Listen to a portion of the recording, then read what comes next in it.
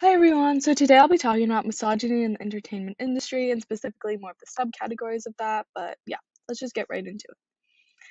I Made That Bitch Famous is a line in the song Famous by Kanye West. At the time when the song was written, produced, and released to the world, Kanye West was 40 years old, and he's talking about 26 year old Taylor Swift. It all started at the VMAs back when Taylor Swift was 19, accepting her award for Best Female Video for her song You Belong With Me. When Kanye West ran onto the stage, grabbed the mic from her, and interrupted her to praise another artist who was nominated at the time. He capitalized on her special moment to gain further attention for himself. But the feud and the history behind the two doesn't end there.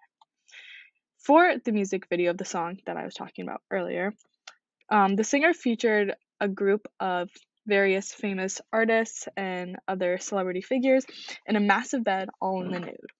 Obviously, this attracted a lot of attention, but it was extra horrible because most of the female characters had exposed genitals, as pictured here. He horrendously exposed and exploited the young singer as well as other young women for his own personal gain and attention, as this music video gained a lot of attention. These two blatant attacks are a few of many, many, many examples in this industry that clearly showcase there's an extreme presence of misogyny and sexism in the entertainment industry. So, moving on, it's without a doubt that our society and culture, women are over sexualized and objectified, especially in art and social media forms, advertisement for capital gain. The phrase coined by many is that sex sells, but what they fail to mention is that they're usually referring to naked women only rather than their male counterpart. So here are a few examples of advertisements that I found. I just look up companies and these are kind of the first things to pop up versus the male counterparts. These are all the same companies, but the ads are so clearly very different. There's barely even an exposed shoulder versus women in near lingerie. So, why? Why is this happening? Because in a patriarchal, misogynistic world, the media caters to the male gaze. According to Dictionary.com, the male gaze is defined as the assumption in visual and creative arts that the default or desired audience consists of heterosexual males. An inclusion of women in narrative or art should seek to please this audience with the objectification or sexualization of these depicted women. It is an explanation for the lens design in media that centers female objectification for male pleasure and satisfaction. To find examples, you can go shopping. This is the same shirt by the same company, and clearly it's advertised very differently.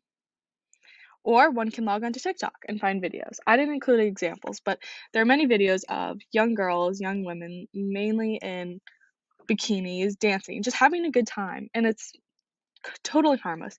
But if you go into the comment section, you see a lot of comments like this. They looked at me first. Bro, if you're not being settled, neither am I. The list goes on and on.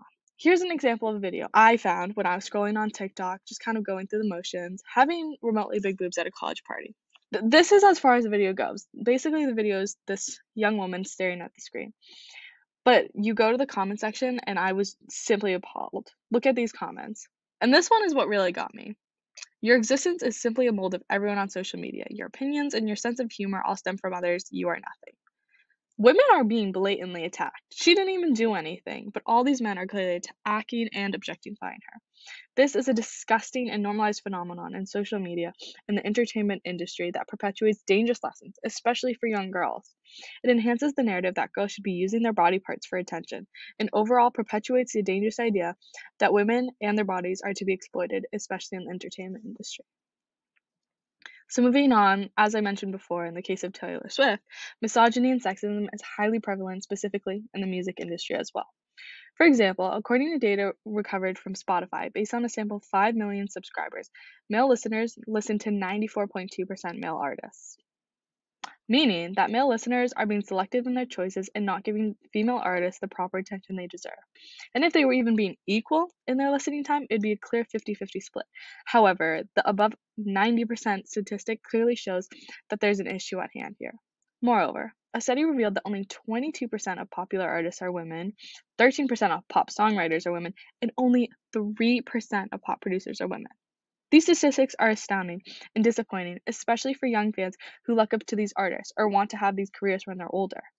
Clearly, it is evident that women are disproportionately supported by users, especially those who identify as male and are severely underrepresented. It's like the Taylor the artist Taylor Swift said in one of her many songs referring to her struggles as a woman in the industry. I'm so sick of running as fast as I can, wondering if I get there quicker if I was a man. And this is not the only example. There have been so many songs and examples where women are fighting for their attention, trying to voice what they're saying, whether it's blatant like Taylor Swift or with secret messages.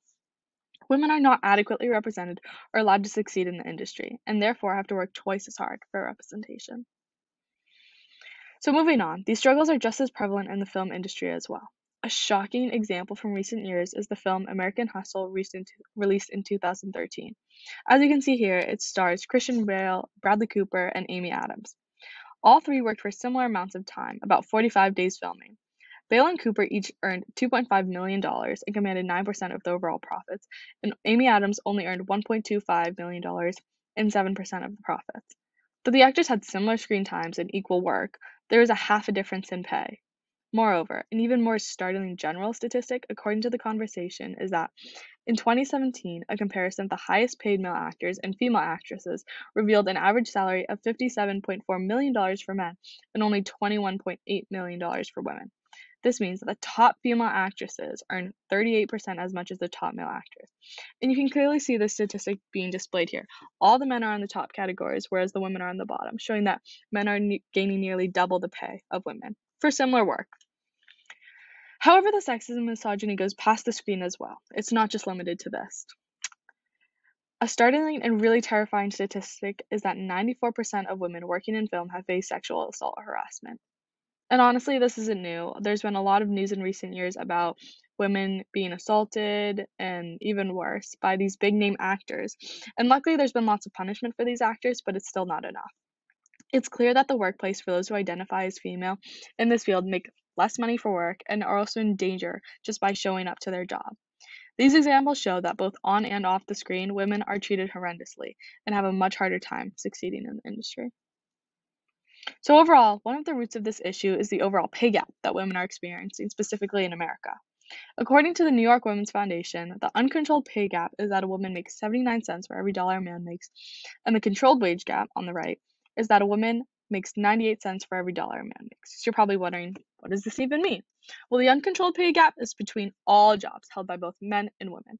So this shows a really starting um, fact that women are inadequately represented in higher paying jobs. Therefore, the gap is wider. Whereas the controlled gap shows that in an equal paying job, let's say CEO, men are gaining just that much more money for the same same job, equal work, everything. So, this is without a doubt a severe issue. This should not be happening. Women should not be discriminated against, paid less, assaulted, or be treated any differently in these jobs for simply being a woman. A woman. Both governmental and societal change needs to be happen, not just for us, but for future generations. And this needs to be enforced that women are not treated unfairly in both the entertainment industry and in life. So thank you for watching. Here's some sources and links. Um, I appreciate it. Thank you.